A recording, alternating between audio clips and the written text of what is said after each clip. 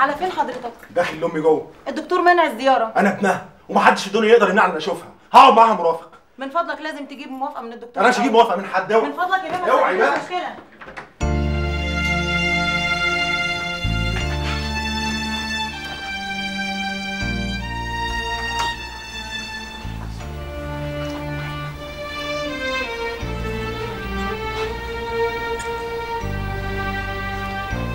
انت إيه اللي جابك؟ أنا مش هسيبك يا ماما. أنا هقعد معاكي على طول. دلوقتي جاي تقعد معايا. ما أنت كنت قاعد معايا وأنت اللي طفشت من البيت. وكنت بترجاك عشان ترجع. كنت مجنون. دلوقتي عقلت؟ أيوه. ولما عقلت جاي تقعد في مستشفى المجانين. مع واحدة مجنونة. أنا اسف يا ماما أنا اسف ارجوك تسامحيني أنا كنت طايشة آه مستهتر عايش بالطول وبالعرض إنما عمري ما وافقت على أي حاجة اتعملت ضدي. وعمري ما اسمح لأي حد انه يضايقك أو يزعلك حتى لو كان ده فارس أو فريدة أختي.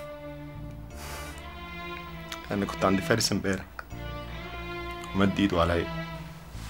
ضربني بالقلم. يا ربي خليكي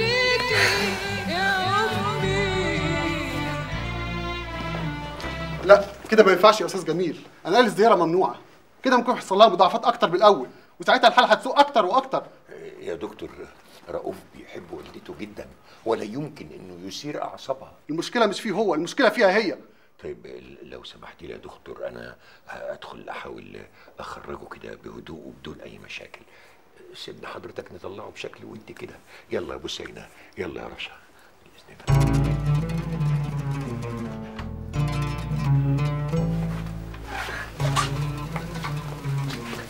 أستاذ جميل. ما شاء الله ما شاء الله. النهارده وشك أحسن بكتير. إيه اللي الولد ده مضايقك في حاجة؟ تحبي أعبطهولك؟ إيه فاكر ولا ناسي؟ أستاذ جميل كويس إنك جيت. أنا ليا عندك طلب. فندم طلباتك اوامر يا فندم. أنا كنت عايزة كنت عايزة أطلب إيد بوسينة بنتك. لرؤوف ابني طبعا طبعا يا فندم ده إحنا هنا ال- ال- ال- الشرف الشرف والسعادة والهناء والاعتزاز والفخار أبوس إيدك يا أستاذنا أبوس إيدك مش وقت خطب. لما صدقنا إن ماما وافقت قول لها موافق وخلاص. نقرأ الفاتحة. نقرأ الفاتحة. بسم الله الرحمن الرحيم.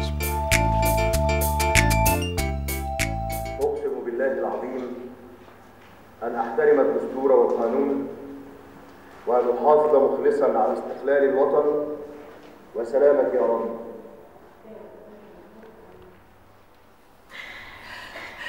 مبروك يا فريدة.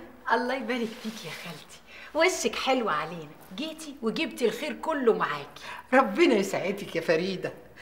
أنا كنت بتفرج عليكي وأنا في الخليج. كنت بستناكي كل يوم. والله كنت عاوزة أكلمك. ربنا يخليكي يا خالتي. بس لا مؤاخذة يعني. أنت بقيتي ست مشهورة والناس بتحبك قوي وعايشة في بيت جميل ما شاء الله وفارس ربنا فتحها عليه وبقى وزير قد الدنيا. طب يعني إيه لزوم بقى المشاكل والقطيعة اللي بينكم وبين فوزية؟ دي أمكم يا ولاد يا خالتي إحنا ما عملناش معاها أي مشاكل. ما انت عارفاها أكتر مننا. ما هي مقاطعاكي بقالها 15 سنة. انت يعني كنت عملت لها إيه؟ بس إحنا خلاص كبرنا. وأنتوا اللي لازم تشيلونا. هي مديانا فرصة. دي جات لي مرة هنا البيت. كنت عاملة حفلة. عندنا كبار البلد ورجال أعمال ووزراء. ومسكتني قدام الكل. وهات يا شتيمة. ومسحت بيا البلاط. ليه كده بس يا فوزية ليه كده؟ انت عارفة يا خالتي عمرو جوزي ده راجل طيب قوي وفي حاله عمره ما زعلها بكلمة. بعد ما اتجوزنا رحنا لها طردته هو وابوه وبقينا فرجة قدام الجيران وإحنا نازلين على السلالم عمالين نتهزق. معلش انت عارفة ان فوزية طول عمرها عصبية. الله امال فين جوزك وولادك؟ زمانهم جايين هم راحوا النادي شوية. انت هتتغدي معانا النهارده يا خالتي. أنا بقول لك اهو عمرو هيفرح قوي لما يشوفك. مبروك يا حبيبي. صبرت ونولت ده وش البيبي علينا. عارفه يا إلهام أنا مش مصدق. أنا حاسس إن أنا بحلم. كل اللي تمنيته حصل وكل اللي كنت عايز أخلص منه خلصت منه. طب قولي لازمتها إيه بقى الشقتين المنفذين على بعض دول؟ بالعكس ده دلوقتي بقى بقيت محتاجهم أكتر من الأول. وبدل ما كنت بتستنيني لوحدك دلوقتي هتبقوا اتنين. أهو تلاقي حد يسليكي. طب ولازمتها إيه مكتبك هنا؟ ما انت عندك مكتبك في الوزارة. ده مكتبي هنا هو اللي هيتم فيه الشغل كله. مكتبي بقى في الوزارة ده مجرد شكليات مش أكتر. اسمع أنا قلت لك تجيب لها أحسن شبكة. طقم ألماس. اللي أنا بقوله لازم يتنفذ. يا ماما الأستاذ جميل مش موافق. أنا قلت له هو مش راضي. طب وأنا اعمل إيه طيب؟ طب بصي هو معاكي خدي كلميه أيوه يا مدام فوزية. الحقيقة أنا شايف إن هم في في مستهل حياتهم الزوجية ينبغي أن يراعوا حسابات ومعايير الإنفاق وهو ترشيد إنفاق إيه يا أستاذ جميل؟ ده ابني ودي بنتي. اخرج أنت من الموضوع ده خالص. مع السلامة. السلام عليكم يا فوزي أنا جاي عشان أطمن عليكي. والحمد لله. اطمنت كتر خيرك. فارس ورؤوف هما كمان عايزين يسلموا عليكي سلموا على أني يا أولاد.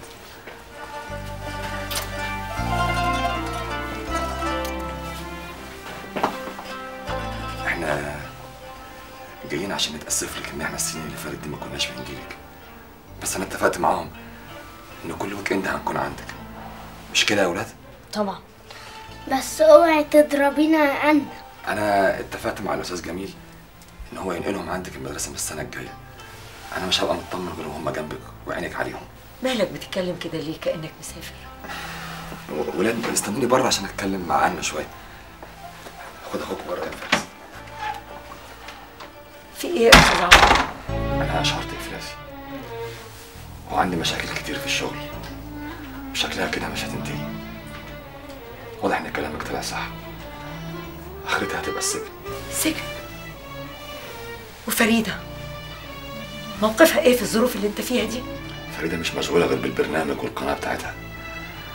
ضيعت شقة عمري. مالين اترمت في الهواء يا مدام فوزية. مش عارف أعمل إيه في الولاد ماما سافرت أمريكا تتعالج. وفريدة مش فايقة لهم. ما لقيتش غير حضرتك. يعني أنتوا هتبقوا معايا في المدرسة؟ آه مدرسة أنا فوزية. بابي لسه قايل لها وهي قالت أوكي. طب كويس. هو أنا فوزية قاعدة هنا ليه؟ أصلها كانت تعبانة شوية وبتعيط. هي أنا فوزية. مجنونة؟ ما تقولش عليها كده. مش دي المستشفى اللي بيقعدوا فيها المجانين؟ قلت لكم ما تقولوش عليها كده وإلا والله هروح أقول لها. الأيام أثبتت لي إن حضرتك كنت صح طول الوقت وإن فريده كانت غلط. معركة كانت خسرانة وحضرتك كسبتها في النهاية. أكبر معركة تخسرها الأم. لما تكسب معركتها ضد ولادها لا أنا هقول لأمي. ما تقوليش. لا لا قلته إيه يا أولاد في إيه؟ أصل فارس ورؤوف قالوا على طنط فوزية ما دام هي قاعدة هنا إن هي إن هي مجنونة. إيه هو اللي قلته ده؟ عيب كده. اطلع بره أنت هو يلا بره بره. سيبهم يا عمرو إذا كان فارس الكبير قالها. بتلوموا فارس الصغير. نورت الدنيا يا معالي الوزير. ألف مبروك يا معالي الباشا. ألف مبروك يا معالي الباشا. والله البلد كلها بترقص وبتغني. يا سلام. الشعب اختارك بالليل والحكومة اختارتك بالنهار. هي دي الديمقراطية ولا بلاش؟ متشكر قوي يا حاج حمدي. والله يا فارس بيه أنا سعادتي ما تتوصفش. تولي سيادتك الوزارة حسسني إن جيلنا أخد حقه خلاص وبدأ يمارس دوره. ميرسي يا محسن. الحقيقة يا باشا الحاج حمدي ومحسن بيه كانوا طالبين يقابلوا معاليك حاضر. تعالى يا محسن. خليك انت يا حاج حمدي لبكرة. بكرة؟ آه علشان انت عاوز لك قعده وماله يا معالي الوزير؟ أنا طول عمري بحب اكون في الآخر. ربنا يعينك ويديك الصح هو في الآخر بيجي إيه؟ مش الحلو. تلاقي سعادتك عاوز تحل بيه. آه طبعا طبعا. مش عاوز اعطل عليك يا فندم أنا عارف المشاغل. الموضوع بقى شبه منتهي خلاص. عقد مدام فوقية بالبيع لسيادتك حاسم الموقف تماما بالنسبة للجزء الخاص بيها. أما بقى بالنسبة لجزء خاص مدام فوزية فسيادتك قايم على ممتلكاتها طبعا. بس أنا متهيألي يا محسن بيه إن الباشا له حق الإدارة بس مش حق البيع. ما إحنا قدمنا طلب للمحكمة من خلال المحامي بتاع سيادتك ببيع الحصة المسماة باسم السيدة فوزية السباعي. ودي طبعا فرصة ما تتعوضش. وكمان أرفقنا تقرير اللجنه الهندسية بالحي بأن المدرسة قايله للسقوط ويجب إزالة المبنى. طب ما ده كويس قوي مستني إيه؟ أصل قرار إزالة المبنى يا فارس بيه ده شيء مش سهل وخصوصا إذا كانت الرخصة وسيادتك عارف في الأصل طالعة لبناء مدرسة. ده غير صحيح. القصر ده كان بتاع جدي الله يرحمه. كل العيلة كانت مقيمة فيه. أما حكاية تحويل المدرسة فده كان وضع مؤقت. الورق كله هتلاقيه مع المحامين. إحنا عمرنا ما هنخالف القانون ابدا يا محسن طب ما كده يبقى اتحلت خالص يا فارس بيه. ما فضلش بقى غير حاجة واحدة بس. حاجة إيه؟ زقة من معنى. أستاذ راتب أهلا وسهلا وحشني والله. إزاي حضرتك يا مناوي فوقية؟ وإزاي صحتك؟ الحمد لله يا رضا. آه في ضيف عاوز يشوف سعادتك. ضيف مين؟ الأستاذ جميل أبو المعاطي. أستاذ جميل ده أنا نفسي أشوفه. ياما الولاد كلموني عنه دول بيموتوا فيه. اتفضل يا أستاذ جميل. السلام عليكم ورحمة الله وبركاته. وعليكم السلام ورحمة الله وبركاته. أهلا وسهلا. اتفضل. اتفضل يا أستاذ جميل. يا سلام. ده أنت نورتنا وشرفتنا. أهلا أهلا وسهلا. اتفضل اتفضل اتفضل يا أستاذ راتب اتفضل. اتفضلوا استريحوا استريح يا فندم. أهلا أهلا وسهلا. اتفضل استريح. أهلا وسهلا. أه تحبوا تشربوا إيه؟ لا يا فندم متشكرين خالص. هو الحقيقة إحنا جايين آه، كلمتين صغيرين كده وهنمشي على طول. خير يا أستاذ جميل. الحقيقة يا فندم إنه آه، إحنا جايين عشان نقول لحضرتك إنه الوقت قد حان لكي تنسي الماضي بخلافاته ومشاكله. وبعدين مدام فوزية أخت حضرتك الوحيدة. معقولة أنا أشيل من فوزية أختي؟ دي أختي حبيبتي. ده أنا ياما ياما حاولت السنين اللي فاتت دي أصالحها وهي اللي كانت بتصدني. مش كده يا أستاذ راتب؟ مظبوط يا مدام فوقية مظبوط.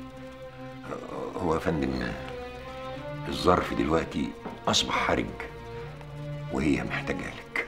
وأنا محتاجة حد يوصيني على أختي حبيبتي.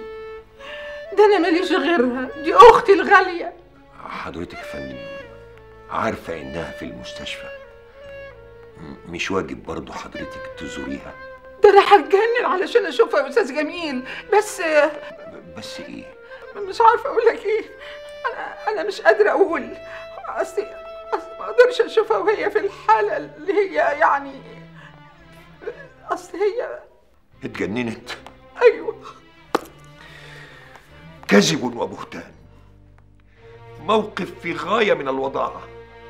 من أولاد يستاهلوا أشد العقاب. يعني إيه؟ فوزية كويسة؟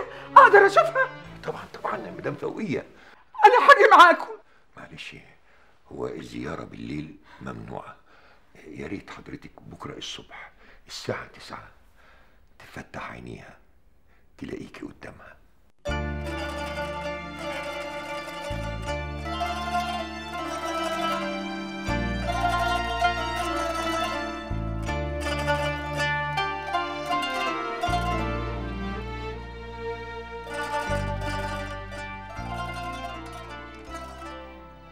قلت لك الراجل ده ما ينفعكيش. ده خاين. ما دام اتجوز عليكي من وراكي تطلبي الطلاق وتسيبيه وتاخدي كل حقوقك منه. خلاص بقى يا فوزية. أهو ده اللي راجل. يعني هسيبه وأجي أعمل إيه في مصر؟ لو ما خدتيش الموقف ده يا فوقية لا أنت أختي ولا اعرفك يا أنا يا الراجل ده. اختاري. أنا مش ناقصة يا فوزية. كفاية اللي أنا فيه. أنت حرة. بس افتكري الكلام ده كويس. بكرة هيرميكي ومش هتلاقي حد جنبك. وهتشوفي الويل من ولاده يا فوقية. وساعتها بقى اوعي تجيلي وتقولي لي الحقيني يا فوزية. لا بقى بصي أنا ما بعرفش أنام بدري. يعني ترتبي نفسك هتتصاري معايا على التليفون. آه ماما نامت من بدري. ما أنت عارفاها بتصحى من 6 الصبح. حلو. ما دام الأستاذ جميل نام ومدام فوزية تبقى دي الفرصة الوحيدة اللي هنعرف نتكلم فيها.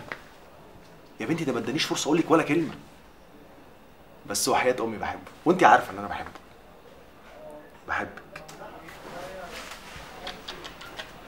آه اتجننت. وفيها إيه يعني؟ ما أنا بكلمك من مستشفى الأمراض العصبية. يا حبيبتي أنا اتجننت من ساعة ما شفتك وأنا بفتح لك الباب كده وانت جاية من فرنسا. وحياة أمي حصل لي اللي حصل لي. طب حبيبتي أكلمك بعدين أكلمك بعدين. يلا bye bye. رؤوف. ازيك يا رؤوف. إزيك يا خالتو انت اللي جابك دلوقتي؟ وجيتي إزاي أصلا؟ أنا ما جاليش نوم مش قادرة انام. أنا عايزة أشوف أختي عايزة أشوف فوزيه يا حبيبتي بس هي نايمة دلوقتي. مش مهم أنا هقعد جنبها لحد ما تصحى. خليك انت هنا وسيبنا إحنا الاثنين لوحدينا.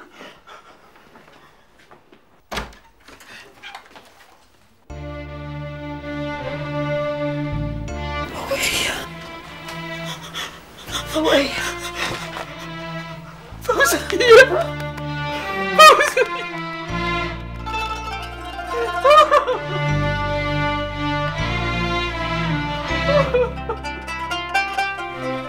ازيك فوقية ازيك انت وحشتيني. وحشتيني قوي وانت كمان إيه اللي بيحصل لنا ده هو ده اللي نمنا في الآخر. أنا ما خلفتش حتة عيل هتسند عليه ولا ينصرف عليا. ربيت في غير ولدي وبنيت في غير ملكي. وفي الآخر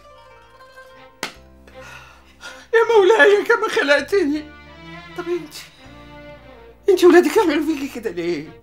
ليه؟ ده أنا كنت فرحانة بيهم قوي قوي كنت بقول هم دول تحويشة العمر. انت طيبة قوي فوقية والزمن ده مش بتاع طيبين. بس أنا بقى أنا زعلان منك. عندك حق تزعلي بيكي مفيش كلمة. مفيش تحذير حذرتهوني ما حصلش. كده برضه تبيع المدرسة.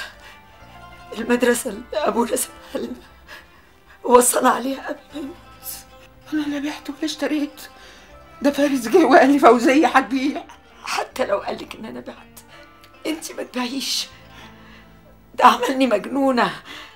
عشان يتصرف زي ما هو عايز. اخص عليك يا فارس. ليه؟ ليه يعمل كده؟ طب وبعدين؟ إحنا هنسيبه كده يبيع ويشتري فينا. لازم نتصرف. أنا محبوسة هنا يا فوقية لو كنت أقدر أعمل حاجة ما كنت سكت. أنا اللي هعمل يا فوزية. المدرسة مش هتتهد والأرض مش هتتباع.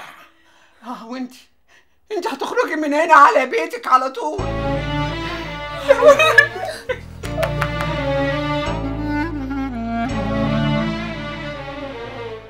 بعد حضرتك ما هتعملي لي التوكيل هنعمل اختار هنا في الشهر العقاري بعدم قبول أي طلبات شراء لقطعة الأرض اللي باسم حضرتك أنت ومدام فوزية إلا بوجود توكيل رسمي منك ومنها ولا يعتد بأي عقود ابتدائية. وده يوقف البيع يا أستاذ وحيد؟ إذا ما كانش البيع تم فعلا طبعا ده يوقف البيع. ممتاز يا أستاذ وحيد. أنا كنت واثق إنك هتلاقي لنا حل. أنا شايف إن الأمور ابتدت تدعو للتفاؤل. من ساعة ما جت لنا مدام فوقية.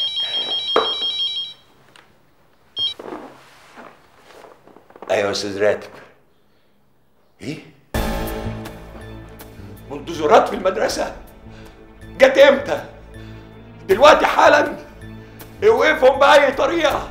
إن شاء الله ترتكب معاهم جناية. أنا هوصل الموضوع لأعلى مستوى. مش ممكن المدرسة تتهد وهل يعقل يا معالي الوزير أن يهدم صرح من صروح التعليم ومدرسة تضم خيرة الأساتذة والتلاميذ في عهد سيادتك؟ بس يا أستاذ جميل التقرير بيقول إن المبنى قايل للسقوط وده ممكن يعرض حياة الأطفال للخطر ودي مسؤولية كبيرة. كذب وبهتان وتقرير مزور. سيادتك يا فندم عندك أهو مدام فوقية تملك نصف مساحة الأرض لا عايزة تبيع ولا عايزة تهد. وأختها مدام فوزية سيادتك عارف موقفها من بدري. الاتنين رفضوا ملايين الدولارات من أجل أن تبقى مدرسة طه السباعي كمعلم تنويري حضاري في المجتمع. يا معالي الوزير أنا متأكدة إن مبنى المدرسة مش قايل للسقوط وإيه اللي خلاكي متأكدة قوي كده؟ فوزية أختي هي اللي قالت لي وفوزية عمرها ما تقول حاجة غلط. طيب أنا أكلم جامعة القاهرة يبعتوا لنا لجنة محايدة تعاين الموقع تاني. وإحنا مش عاوزين غير كده. وأكيد أكيد في ناس خيرة كتير قوي هيقولوا كلمة حق؟ ألو صباح الخير يا دكتور. قدامي قرار بهدم مدرسة طه السباعي اللي في الزمالك. لجنة من الحي. أنا عاوز لجنة من عندكم تأكد أو تلغي القرار ده. سيادتك عارف ثقتي فيكم قد إيه. أشكرك يا دكتور. مع السلامة. الحقيقة أنا مش عارف أقول إيه لي معالي جمال الوزير الحقيقة. أقول لك بقى إيه ممتاز يا وليد ونجمة. هو آخر طلب لي عند معاليك يا فندم. إحنا عايزين معاليك يا فندم مشكورا. تطلب لنا زميل سيادتك وزير الصحة يبعت لنا لجنة من الأطباء الأكفاء يكشفوا على مدام فوزية ويضعوا لنا تقرير عن الحالة العقلية والصحية. دي مصيبة معالي الوزير. إحنا معانا كبار المستثمرين في المنطقة والناس عملوا دراساتهم على إن الموضوع منتهي. النهارده جالنا اختار بوقف عملية البيع. بعد ما الناس حولت فلوسها من بره وكمان صدر قرار بوقف عمليات الهدم اللي في المدرسة. يعني رجعنا لمربع واحد. يعني ولا كأننا عملنا أي حاجة. اسمع بس يا محسن. إحنا نهدى شوية على الموضوع ده اليومين دول. نعتبره كأن لم يكن. وأنا هشوف طريقة تانية. أنا وعدتك إن أنا هخلصه لك. وأنا عمري ما وعدت وخلفت وعدي وبعدين يا صبري بيه دي تاسع مرة أجي لمعالي الوزير وما قابلوش البضاعة في الجمرك وقربت خلاص تخش على انتهاء صلاحية. ودي ملايين يا صبري بيه ملايين. هو وعدني قدام سعادتك. دي كلمة منه تخلص كل حاجة. وانت عارف يا حاج حمدي معالي الوزير استلم الوزارة وكل حاجة فيها متلخبطة. وهو دلوقتي ربنا يكون في عونه بيحاول يعالج أخطاء الوزير اللي قبله. يا سيدي ما قلناش حاجة. يصلح الأخطاء زي ما هو عاوز لكن وهو بيصلح. ما ينساش حبايبه القدام. اطمن يا حاج حمدي هبلغه. والله هبلغه. وبعدها لك يا فارس بيه. يعني ده جزاتي. ده انت كنت واقف هنا عمال ترقص وتحضر وتفوز فيا والود ودك تشدني من على الأرض شيل قوم بقى بعد ما بقيت وزير. مش قادر أقابلك لمدة خمس دقايق وما بيردش عليا في التليفون. طب ما تروح له البيت يا حاج. مفيش مكان بيروح وما رحتوش يا واد يا ماهر. طب وبعدين يا حاج؟ ما انت حطيت اللي وراك واللي قدامك في المصل ده اللي جاي من الصين مش مشكل اللي ورايا واللي قدامي. المشكل إن معايا شركاء دافعين هم كمان. وأنا اللي في الصورة أنا اللي في الوش. طب وهتعمل إيه دلوقتي يا حاج؟ لازم فارس به يعوزني عشان أقدر أشوفه. وهو فارس بيه يعوزك في إيه دلوقتي يا حاج؟ ده بقى وزير. هيعوزني. هيعوزني قوي هيدور عليا برجليه وإيديه. أنا عارف كويس هيعوزني إزاي. إزيك يا مدام فريدة؟ والله وليك وحشة يا نجمة مصر. سلامات يا مدام فريدة. انت. عمر الشقي باقي. أصل الفقير اللي زي حالاتي ما بيموتش من أول مرة يا ست الكل. انت عاوز مني إيه؟ أنا عايزك في كلمتين ورد غطاهم. ده بعد إذنك. أصل الموضوع اللي أنا جاي أكلمك فيه لازم يكون في الكتمان. انت هتقعد. اقف. خلاص. ما دام انت عايز نقوله مع الواقف نقوله مع الواقف. ما أنا اصلي من ساعة ما رجليها اتقطعت ده بعد الشر عليك يعني. ما بقتش قادر استحمل الوقفة. أنا عايزك في كلمتين ده بعد إذنك يعني عايزك توصليهم. عايزك تروح الفارس بيه معالي الوزير وتقولي له نصح اللي مات رجع عاش تاني. وطالب المرة دي مليون جنيه مقفولين حتة واحدة. آه. ما أنا أصلا لما ممكن طالب نص وما خدناش النص. لما رجعت تاني للدنيا لقيت الأسعار ولعت. أنا هديكي مهلة ساعتين زمن عشان تعرفي تتصرفي. ما هو البني آدم اللي زي حالتي ما بقاش ضامن عمره. وفارس بيه يعرف يجيبني. سلام.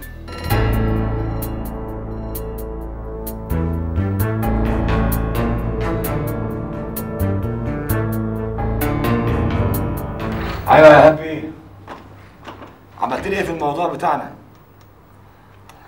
دبرت لي المبلغ. أنا عارف إن في أزمة سيولة والله. بس أنا أنا في ورطة والمبلغ ده لازم يكون معايا بكرة. ماشي ماشي.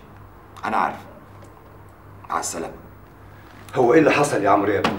خلاص يا عم سليمان أنا ضعت. انتهيت. كفالة الشر يا عمرو يا ابني ما تقولش كده. أنت عارف إن أنا كان مرفوع عليا قضية في المحكمة الاقتصادية. عارف. النهارده اتحكم عليا بالغرامة والتعويض 5 مليون جنيه. لازم يتفقوا بكرة في المحكمة وإلا هيشطبوني من سجل المصدرين وهيقفلوا المصنع ويشمعوه ويمكن توصل للسجن. يا دي الخراب المستعجل. والله ما تستاهل اللي بيحصل لك ده يا عمرو بيه. أنا اللي غلطان. ما كانش ليا إن أخش في حكايات القنوات والبرامج والحفلات والمظاهر الكدابة. كل ده ما كانش بيحصل أيام الحاج كله من تحت راسها. ست هانم اللي ما بتسافرش غير بالطيارات الخاصة وبتكلف الحفلة مليون جنيه. طيب ما تصلي على النبي كده وإن شاء الله ربنا هيحلها. عليه الصلاة والسلام. بس الغرامة دي هندفعها إزاي؟ أديني بكلم طوب الأرض عشان حد يساعدني في المحنة. كله بيتهرب. الوحيد اللي عرض عليا إنه يساعدني عايز يشتري المصنع بارخص الاثمان طيب ما تكلم فارس بيه. فارس بيه هيعمل لي إيه؟ أهو بسم الله ما شاء الله بقى وزير دلوقتي وليه كلمته. يقول لهم يصبروا شوية. يقول لي المين يا عم سليمان؟ دول خواجات لا يعرفوا وزير ولا غفير. أنا قلبي كان حاسس إن ده هيحصل من زمان. ربنا يفك كربك قادر يا كريم. أنا هبيع كل البضاعة اللي في المخازن بأي تمن. ما هو لازم نلم المبلغ بأي طريقة. وكمان هكلم أصحاب المعارض اللي بيشتغلوا معانا.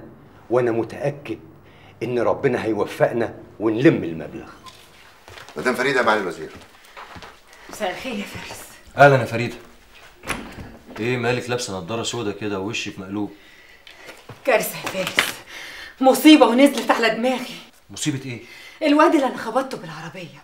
انت مش قلت لي انه مات؟ أيوه. مش صحيح. الولد ده رجع تاني وبيهددني ويبتزني بس الحاج حمدي قال لي ان عربية ميكروباص خبطته ومات. بقول لك مش صحيح. الولد ده جاني لحد القناة وطالب مليون جنيه المرة دي. وحمدي هيكدب عليا ليه؟ أنا عارفة. أنا هعمل إيه دلوقتي؟ يعني حمدي بيلعب بيا. سيبك من حمدي ده دلوقتي. الولد ده مديني فرصة ساعتين. يا إما هيروح النيابة. هنعمل إيه يا فارس؟ هنعمل إيه؟ أنا ما عنديش مليون جنيه فريده عشان اديهم لك. موضوع الأرض والمدرسة خلاص وقف لأجل غير مسمى. هجيب لك منين؟ آه آه أنا دلوقتي فهمت. حكاية الواد اللي بيموت ويصحى كل شوية دي ورقة بيضغط عليا بيها. بيلعبني السافل الواطي اللي اسمه حمدي. بيجيبني بيكي. ولا ماليش غيرك يا فارس.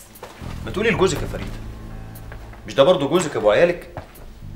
خليه يشاركك في مصيبة زي دي. ولا أنا من حظي إن كل البلاوي تنزل على دماغي أنا؟ ما يشيل هو شوية بقى. يعني إيه؟ يعني أنت غلطتي. خبطت الراجل ورجله اتقطعت. ادفعي له. هدفع له منين يا فارس؟ انت مش متجوزة رجل أعمال كبير وقد الدنيا؟ مش هيعرف يتصرف في مبلغ تافه زي ده؟ كده يا فارس. يعني انت شلت إيدك. اسمعي يا فريدة. أنا وقفت جنبك طول عمري. انت وأخوك الفاشل اللي جاي لي آخر مرة يقل أدبه عليا. يا جماعة أنا برضو عندي حياة خاصة وعندي زوجة وفي طفل جاي قريب قوي. أنا مش هفضل طول عمري شايل همكم كده. وبصراحة أنتوا زودتوها وبقيتوا رخمة قوي.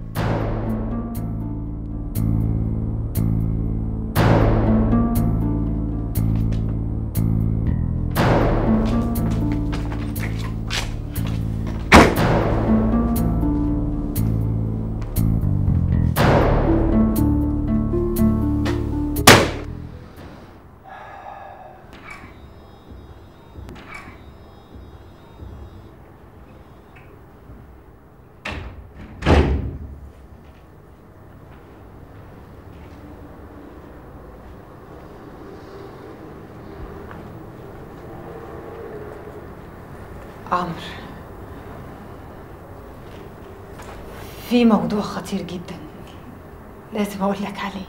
أنا كمان عندي موضوع خطير قوي عايز أكلمك عليه. من فضلك اسمع موضوعي الأول لأنه ما يستحملش تأخير. لازم ناخد فيه قرار دلوقتي حالا.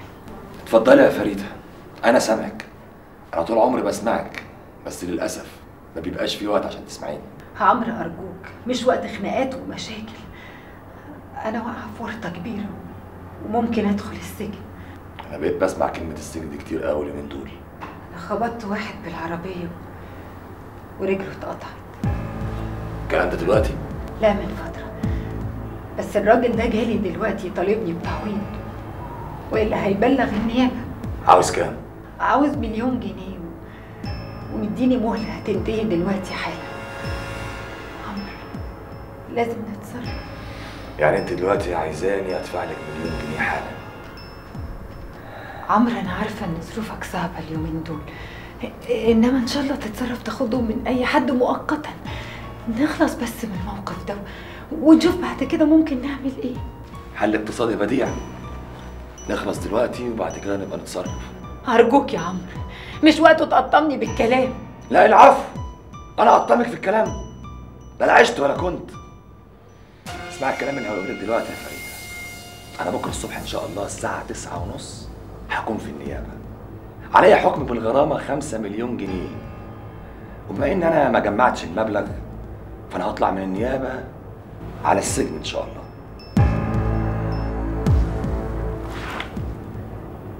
بتقول إيه؟ اسمعيني بقى. اسمعيني أنا بقالي 13 سنة بسمعك. وزي أنا ما فهمت من كلامك كده إن أنت لو ما دفعتش المليون جنيه للراجل اللي خبطتيه وقطعت له رجليه يبقى أنت كمان إن شاء الله هتروحي على النيابة ومن النيابة على السجن. يعني إحنا الاثنين يا حياتي بكرة إن شاء الله هنبقى بايتين في السجن. ولادنا بقى اللي إحنا مخلفينهم. مين اللي هيربيهم يا فريدة؟ عرفت بقى إن إحنا في مشكلة؟ مين اللي هيربيهم؟ أنا بفكر أوديهم مدرسة داخلية. بس للأسف مشاكلها أكتر من مزاياها طب أوديهم لفارس بيه معالي الوزير خالهم؟ فارس بيه لا فاضلنا ولا فاضلهم. طب أوديهم لرؤوف؟ طب يا ترى رؤوف يقدر يتحمل مسؤولية كبيرة زي دي؟ شفت بقى يا فريدة؟ مفيش حد في كل اللي حوالينا دول يقدر يربي ولادنا غير أمك. محدش أقدر أستأمنه على عيالي غيرها. بس للأسف حضرتك مقاطعه الست الوالدة. بأي وش بقى وبأي عين تقدري تروحي لها وتقولي لها يا ماما خدي ربي عيالنا لحد ما أنا وعمرو جوزي نخرج من السجن. شفت بقى يا فريدة؟ مين اللي هيربي عيالنا. عمرو بيه؟ عمرو بيه؟ لا مؤاخذة عمرو بيه. معرض مصر الجديدة عارض على البضاعة اللي عندنا مليون جنيه. وانت جاي تسألني ليه؟ ما أنا قلت لك اتصرف. أصلها تساوي 3 مليون. كانت تساوي 3 مليون. دلوقتي الحال اتغير ما بقتش تساوي أكتر من مليون. بس قول لهم ادفعوا كاش اللي تشوفه يا عمرو بيه. شفت بقى يا فريدة؟ أدي مشكلة اتحلت اهي عشان تعرفي بس إن أنت بنت حلال. اتصلي بقى بالراجل اللي أنت قطعت له رجله عشان يجي ياخد فلوسه أنا آسفة يا عمرو. أنا غلطت. غلطت وحاسة بغلطتي. اسمعي يا فريدة. أنا هدفع الفلوس دي عشان إحنا الاتنين ما نخشش السجن مع بعض. هخش أنا وتفضل أنت بره مع الولاد تربيهم. يعني هو هيبقى لا أب ولا أم. ذنبهم إيه العيال؟ تقدري تستني بره لحد ما عم سليمان يجيب لك المبلغ. وفي حاجة أخيرة عايز أقولها لك قبل ما تمشي. أنت طالع يا فريدة.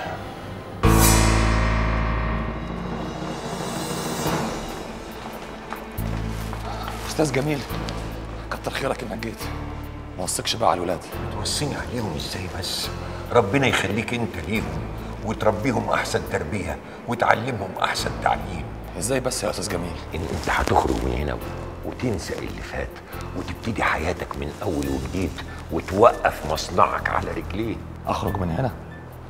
أنت بتقول إيه يا أستاذ جميل بس؟ الأستاذ جميل دفع الغرامة والتعويض يا عمرو يا ابني وبنعمل لك إجراءات إخلاء سبيلك من المحكمة. ودفعت كل المبلغ ده منين؟ مش أنا اللي دفعت الفلوس دي يا عمرو يا ابني. دي دي مش فلوسي. مدام فوزية هي اللي دفعت المبلغ ده. معقولة يا مدام فوزية؟ تدفع المبلغ ده كله. ليه؟ مجنونة بقى. تعمل لها إيه؟ ما تعملش كده تاني. دي غلطتي وأنا لازم أدفع ثمنها أنت عمرك ما غلطت يا مدام فوزية. إحنا اللي طول عمرنا بنغلط في حقك. أنا عارفة إن بنتي هي اللي وصلتك لكده. مدام فوزية أنا وفريدة خلاص. اتطلقنا. إيه؟ والولاد ذنبهم إيه؟ تروح تقعد مع مراتك وتقول لها هي غلطت في إيه وترجعها. بسم الله ما شاء الله يا نصحي بيه. والله والنعمة بنت عليك يا واد يا نصحي. عربية واقفة برة وايه ده كمان ركبت رجل اصطناعية. أخدت حق يا حاج. والبركة فيك برضه. يعني رحت عملت لها الصلح والتنازل في النيابة والموضوع خلاص بح خلص انتهى. هي ارتاحت وفارس به ارتاح وانت اتنغنغت. وأنا اللي طلعت من مولد بلا حمص مين اللي قال لك تروح وتاخد منها الفلوس يا ولد عاوزني اسيب مليون جنيه يا حاج ولا إيه؟ اديني طلعت كذاب قدام فارس بيه بسببك انت. ولو قعدت سنين اهاتي عشان يبص في وشي بصة مش هيحصل. خرب بيتك المستعجل يا حاج حمدي أهلا يا أستاذ جميل. مساء الخير يا فريدة. تسمحي لي آخد من وقتك خمس دقايق. بس يا ريت بسرعة يا أستاذ جميل. عشان عندي هوا بعد ساعة. هو الكلام اللي أنا جاي اقوله لحضرتك دلوقتي ما هوش جديد. أنا سبق وقلته لحضرتك في البيت هنا بعد غياب سنين طويلة. عارفاه يا أستاذ جميل. وأرجوك ما تكرروش تاني. أنا دلوقتي مركزة في شغلي وبس. مش عايزة أسمع أي مشاكل. أنا حياتي كلها اتدمرت. ومبقاش فاضل لي غير شغلي. أمك دفعت الفلوس لعمرو جوزك وأنقذته من السجن. أكيد عشان طلقني. دي بقى مكافأة ماما لعمرو عشان ساب بنتها. ولو قلت لك إنها اشترطت عليه إنه يرجع لك عشان تلم شملكم من تاني وتاخدوا عيالكم في حضنكم. أيوه فريدة دي ام أمكم اللي ما عندهاش في الدنيا دي أغلى منكم كلكم. ما أنت كمان يا فريدة أم وفاهمة وحاسة. ما فكرتش مرة في اللي بيحصل ده كله؟ فكرت أنت وفارس. أنتوا عملتوا إيه في الست دي؟ آه لو يعرف العيل قيمة أمه في حياته. ما كانش ضيع الفرصة دي من إيده. الحقيقة فريدة الفرصة لسه قدامك. الحقيقة. عشان بعد كده هتندمي ندم مخيف ومرعب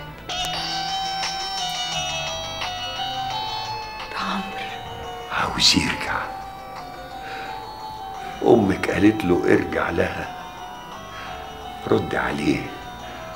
وخديه وروحوا أنتوا الاتنين لمدام فوزية. فوزية فوزية. الخبير. اللي وزارة الصحة جابته علشان علشان يعمل تقرير عنك. خلصوا وإن شاء الله بكرة هتخرجي من هنا وعلى بيتك. أنهي بيت؟ بيتك يا ماما. بيتك اللي إحنا خدناه منه. طردناكي منه. بيتك اللي كل واحد فينا خد حقه فيه وأنكرنا.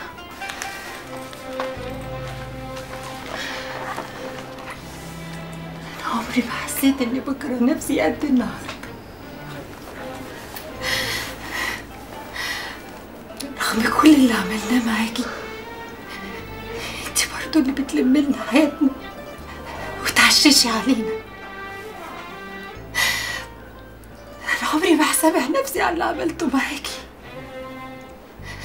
اللي زيي تستاهل الحرب. أنا أسفة يا ماما. أبوس إيدك ورجلك تسامحيني.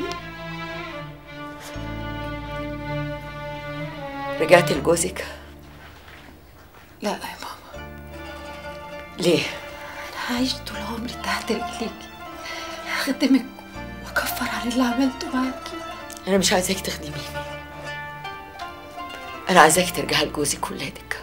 تبي لسه ما سمعتنيش. لما ترجعي لجوزك وتقفي جنبه وتخليه يقف على رجليه من جديد. اللي انت بتقولي عليه أنا هعمله. عمري ما هقول لك تاني لا ابدا.